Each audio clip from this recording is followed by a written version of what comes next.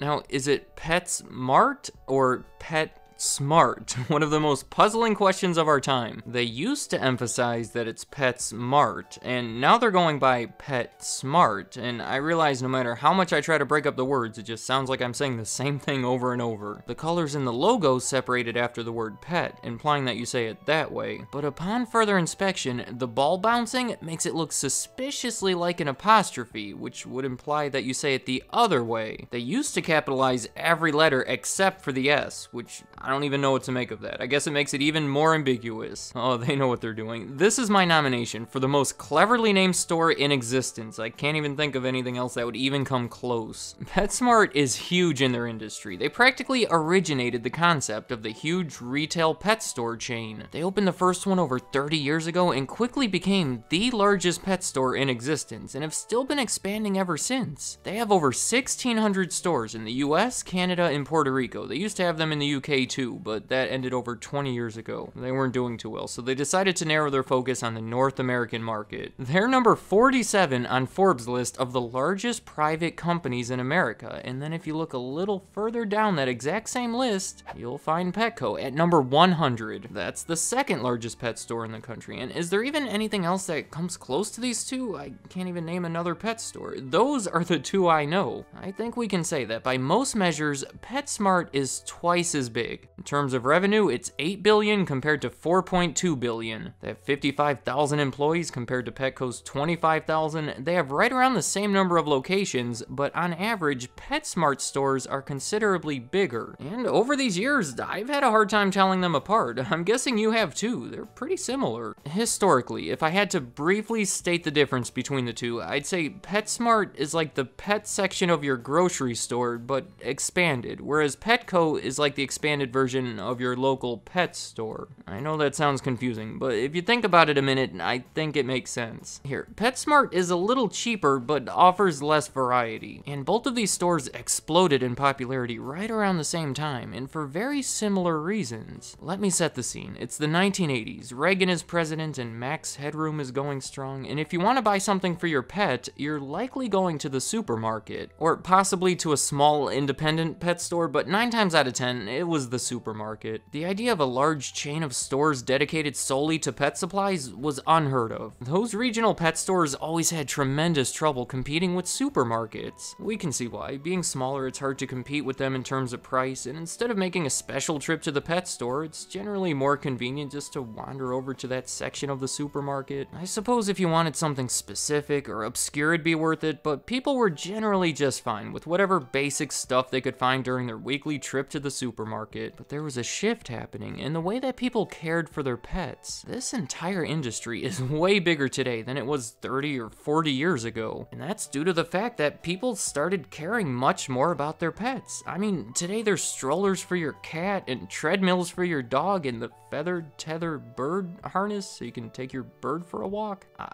I don't know, but I watch the show Shark Tank, and I feel like at least once every couple of weeks they're presenting something that's extravagant for your pet. Some might say it's gotten a little out of hand, but in the 1980s is when we started to see this shift. It was much tamer in the beginning, of course. Instead of people just feeding their pets whatever they seem to like the most, they were now starting to put more care into the decision, comparing the ingredients and trying to figure out the healthiest option. To fill that demand, companies started coming out with these healthier, premium lines of pet foods. And now with this flood of new options available, it wasn't practical for supermarkets to carry every one of them. It's almost like we now needed a specialty store this might sound kind of strange, but for these reasons, in the late 80s, pet stores were seen as a rapidly growing business. So there was this married couple named Jim and Janice Dougherty, and in 1986, they saw this trend happening, and instead of just capitalizing on it by opening a local pet store, they saw a bigger opportunity. They got a few investors together, raised about a million dollars, and used it to open the first Pet Food Warehouse. Now, their goal was essentially to provide reason for customers to go to their store instead of the traditional pet store or the supermarkets. Are you familiar with Costco? I made an entire video about them, but they sell their stuff in a warehouse, cutting out the middleman and passing the savings on to the customer. They force customers to buy in large quantities at discount prices, which means high volumes but low margins. It's all in the other video. Think of Pet Food Warehouse as Costco for pets, which I think is a concept that may work even better this way. When you buy that 42 pack of Famous Amos chocolate chip cookies from Costco, I'm willing to bet you're just sick of eating them well before you finish all 42 packs. Then you find yourself eating them when you don't want them. I mean, you can't let it go to waste. It's a whole thing. But with dog food, they never get tired of it. They love that stuff. So with pets eating mostly the same thing every day, it makes perfect sense to buy it in quantities basically as big as you can carry. One other way that they separated themselves from all other competition that I always thought was pretty cool, they allowed pets in the stores.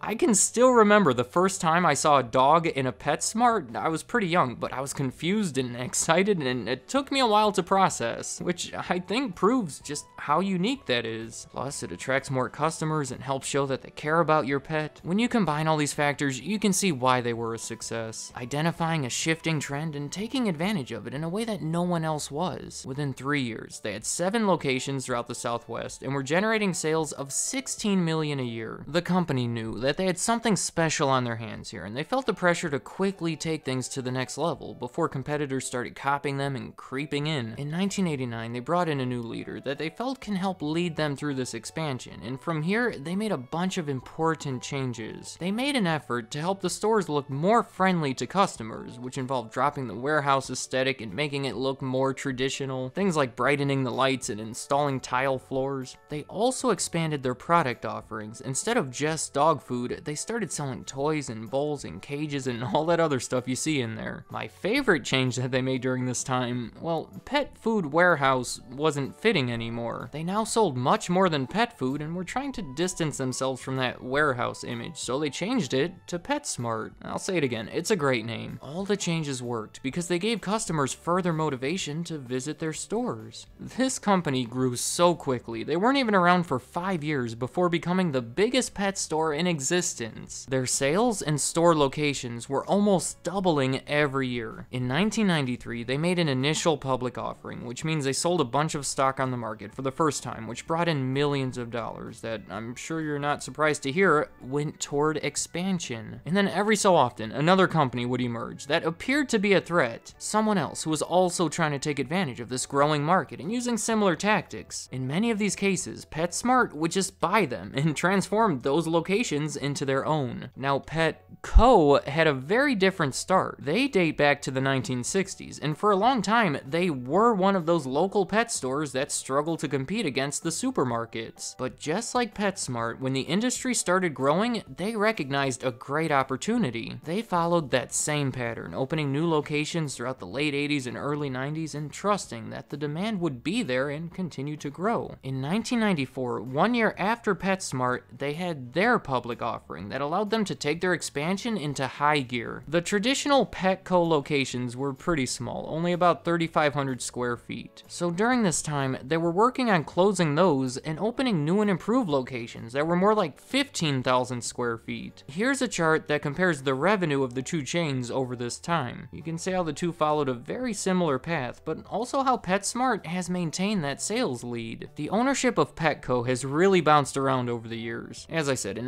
1994, they became publicly owned for the first time. Then in 2000, some private equity firms bought it for $600 million.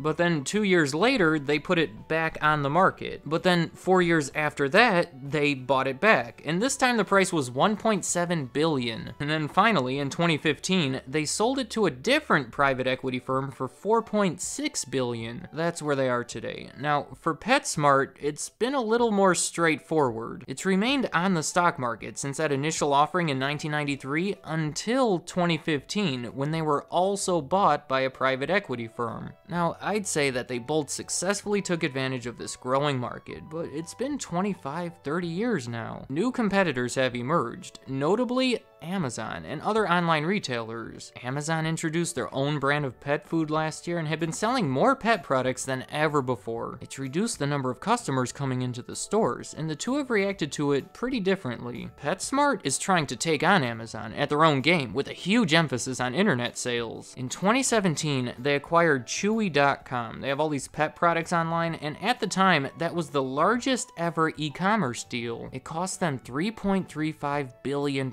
which by the way was funded using a lot of debt. And combine that with the leverage buyout that took place in 2015, PetSmart is dealing with a lot of debt. Luckily, it's not due for a few years, but it'd sure be nice if they could make enough money to pay it off before then. They're sort of stuck in this strange balance where their stores remain profitable, but sales are going down, whereas for Chewy, their sales are doing well, but they struggle to be profitable. Now, for Petco, they're smaller, so it's more difficult to compete with Amazon, and plus they'd have to compete with Chewy and all the efforts over at PetSmart. Their strategy is to stay out of it, and I think it's smart. They're doubling down on the services they offer, vet services and training courses and grooming. They're even trying out this new store called Pet Coach that has a heavy emphasis on all of these services. I think if these two stores continue following these respective paths, they'll finally be different enough to where we won't confuse the two anymore. That'd be nice. Let me know in the comments, as a customer, what would you say are the biggest differences between these stores? And I mean besides the fact that one has such a cooler name than the other, because that's obvious. Also, what do you think of their new business plans? Personally, I would predict Petco to have a brighter future, but PetSmart is putting up a fight. And finally, which do you like better, and why? I'd like to hear what you have to say. Thank you for watching.